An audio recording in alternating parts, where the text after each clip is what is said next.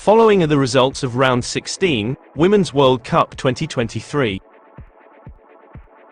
Today's match results. Japan won 3-1 vs Norway. With this victory, Japan qualified for the quarter-finals. Other match results Switzerland lost 1-5 vs Spain. Spain has qualified for the quarter-finals, Women's World Cup 2023. Qualified quarter-finals Women's World Cup 2023. Japan and Spain. The next match is round of 16. Women's World Cup 2023. Sunday, August 6, 2023. Netherlands vs South Africa. Sweden vs United States of America. Monday, August 7, 2023. England vs Nigeria. Australia vs Denmark.